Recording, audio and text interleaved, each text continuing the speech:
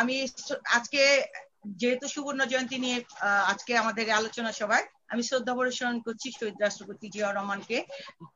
যিনি স্বাধীনতার ঘোষণার ডাক দেওয়াতে লক্ষ লক্ষ বাঙালি আপামর জনগোষ্ঠী তখন কে কি দিন কে প্রফেসর, কে, হিন্দু, বৌদ্ধ, খ্রিস্টান, কোন এগুলা ছিল সবাই বাঙালি যারা বাংলাদেশি, সবাই ঝাঁপিয়ে পড়েছিল যুদ্ধে।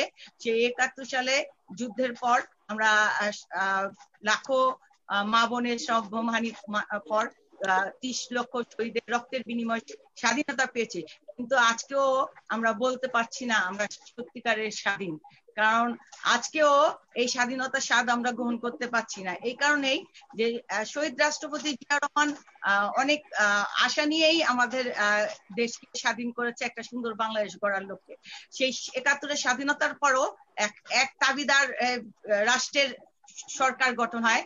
বাহাত্তর থেকে পঁচাশি সাল সেই একনায়কতন্ত্র বাকশাল করে তারা টিকে থাকতে চেয়েছিল। কিন্তু তার ফল কিন্তু ভালো হয়নি, তার পরিণতিও ভয়াবহ হয়েছে। আমরা পাকিস্তানের শাসকদের নির্যাতন নিপীড়ন থেকে শহীদ রাষ্ট্রপতি জিয়া রহমানের ডাকে সারা বাংলাদেশি মুক্তি পেয়েছিল। আবার সেই বাহাত্তর, পঁচাত্তরে আবার সেই শেখ মুজিবুর রহমানের নির্যাতনের শিকার হয় বাংলাদেশি আপামর জনগণ। তার পরিণতি ভয়াবহ হয়ে তার মানে একটা পরিণতির মাধ্যমে তার সরকারি পতন হয়। এরপর আবার যখন আমাদের বাংলাদেশের অবস্থা মানে খুব খারাপের দিকে যাচ্ছিল রাষ্ট্রপতি জিয়াউর রহমান তাতার বেশে আবির্ভূত হয়ে আমাদের দেশের জনগণকে বাঁচার আলো দেখালেন, পথ দেখালেন। আমি বলব তিনি একজন মহৎ লোক ছিলেন। এই কারণে বলব যে উনিশশো একাশি সালে সতেরোই মে যদি শেখ হাসিনাকে বাংলাদেশে না আনতো, তাহলে আজকে সেই শেখ হাসিনা বাংলাদেশ সরকার হতে না বা বাংলাদেশের চেহারা দেখতো না। আর তার ফল তাকে ভোগ করতে হয়েছে শহীদ রাষ্ট্রপতি জিয়া রহমানকে। বিদেশি শত্রুর ষড়যন্ত্রের কারণে শহীদ রাষ্ট্রপতি জিয়া রহমানকে সেই মাসেই মৃত্যুবরণ করতে হয়। এটা আমাদের জন্য দুঃখজনক ব্যাপার। এই শহীদ রাষ্ট্রপতি জিয়া রহমানের মৃত্যুর পর পরই স্বৈরাচারী এরশাদ। এখানে এরশাদের কথা এই কারণে বলছি যে আন্দোলন নেতৃত্বে সবাই ঝাঁপিয়ে পড়েছিল আন্দোলনে। এই কারণে বলছি সেই এরশাদও কিন্তু টিকে থাকতে পারেনি চোরাচারি এরশাদেরও পতন ঘটেছে। আজকে এই যে নব্য নব্য বাকশাল আমি এই কারণে বলব, নব্য স্বৈরাচারী বলব, আজকে আমাদের কণ্ঠরোধ করার জন্য বিভিন্ন ভাবে তারা আমাদের হামলা, মামলা, গুম করে আমাদের কণ্ঠরোধ করার চেষ্টা চালিয়ে যাচ্ছে। আজকেও আমি একটা প্রেস ক্লাবে লেবার পার্টির আয়োজনে ওষুধ যে দ্রব্যমূল্য বৃদ্ধি হয়েছে তার জন্য আমরা মানববন্ধন করতে গিয়েছি।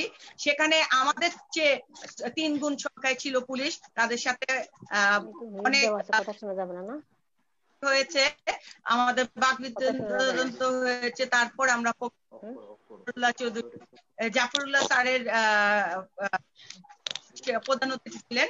তার, যাই হোক আমাদের কণ্ঠ রোধ করার বিভিন্ন ভাবে চেষ্টা চালিয়ে যাচ্ছে। আপনারা দেখছেন দ্রব্য মূল্য প্রতিদিনই উদ্যোগতি হচ্ছে।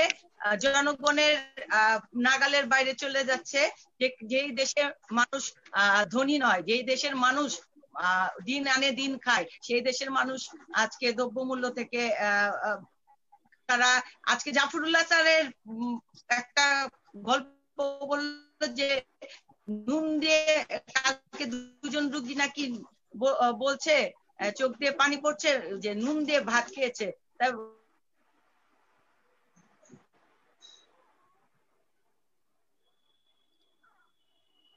সরি অল্পনা আপু, তোমার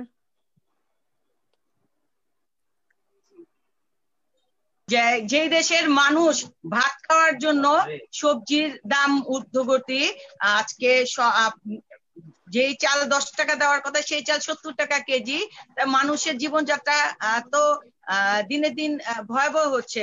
জনগণ ভালো নেই। ভোট চোরের রানী শেখ হাসিনা আগের দিন রাতে ভোট চুরি করে। যে দেশে গণতন্ত্র নাই গণতন্ত্র হত্যা করেছে আমাদের মাদার অফ ডেমোক্রেসি দেশমাতার দেশ নেত্রী বেগম খালেদা জিয়াকে মিথ্যা মামলা দিয়ে আজকে কারারুদ্ধ করে রেখেছে, কারাবন্দি করে রেখেছে। আজকে জনাব, ভারপ্রাপ্ত চেয়ারম্যান জনাব তারেক রহমানকে মিথ্যা মামলা দিয়ে দেশে তাকে পাঠানো হয়েছে। তাকে দেশে ফেরার কোনো সুযোগ দেওয়া হচ্ছে না। সেই দেশে আজকে আমাদের সুবর্ণ জয়ন্তী যেমন আনন্দের, তেমন বিষাদেরও আমি আমরা শহীদ রাষ্ট্রপতি জিয়া রহমানের কারণে আজকে এই সুবর্ণ জয়ন্তী করতে পারছি। কিন্তু আজকে সেই শহীদ রাষ্ট্রপতি জিয়া রহমানের সহধর্মিনী দেশমাতা বেগম খালেদা জিয়া এবং তারই সন্তান আমাদের ভবিষ্যৎ প্রজন্ম, আমাদের ভবিষ্যৎ বাংলাদেশের অহংকার, যিনি আমাদের চেয়ারম্যান জনাব তারেক রহমানকে নির্যাতন করে বিদেশে পাঠানো হয়েছে এই এই মুহূর্তে এই সুবর্ণ জয়ন্তী আমাদের জন্য খুবই কষ্টদায়ক আমি বলব।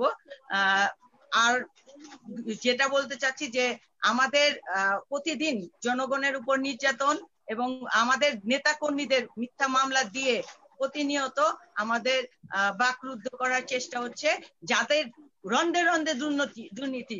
যারা স্বাস্থ্য খাতে দুর্নীতি করেছে শেয়ার বাজারে দুর্নীতি করেছে, যারা নারী শিশু শিশু, নারী কাউকে নিস্তার দিচ্ছে না, তাদের ছাত্রলীগ, যুবলীগ দ্বারা ধর্ষণের শিকার হচ্ছে প্রতিনিয়ত। আজকে ক্যাসিনো শহর করে তুলেছে তাদের যুবলীগ নেতাদের দিয়ে। এই অবস্থায় আমরা একটা সুন্দর সুষ্ঠু নির্বাচনের প্রতীক্ষায় আছি যে কখন আমাদের সেই সুষ্ঠু নির্বাচন হবে, আমাদের দেশ নীতি খালেদা জিয়া মুক্ত হবেন, কখন আমাদের ভারপ্রাপ্ত চেয়ারম্যান দেশে ফিরে আসবেন সেই অপেক্ষা আছি। সুস্থ নির্বাচন দিলে শেখ হাসিনা জনগণের থেকে পার পাবেন, আর সুস্থ নির্বাচন না দিলে এবার জনগণ তাকে ছাড়বে না। কারণ পাকিস্তান আমলও গিয়েছে, আর তার বাবার আমল শেখ মুজিবুরের আমলও গিয়েছে এরশাদের আমলও গিয়েছে। এবার ওনার পালা উনি এর জন্যই পালাবার পথ খুঁজে পাবেন না। যদি একটা সুস্থ নির্বাচন দেন, তাহলে হয়তো জনগণ কিছুটা তাকে মাফ করে দিতে পারেন। এই প্রতীক্ষায় আছি। আজকে সবাইকে আবারও আমি বলছি যে, সুবর্ণ জয়ন্তীর সবাইকে শুভেচ্ছা রইল, অভিনন্দন রইল। আমরা একটা নতুন ভোরের আশায় পচে রইলাম। বাংলাদেশ জিন্দাবাদ দেশ নেত্রী বেগম খালেদা জিয়া জিন্দাবাদ, শহীদ আমর হোক ভারপ্রাপ্ত চেয়ারম্যান তারেক রহমান জিন্দাবাদ।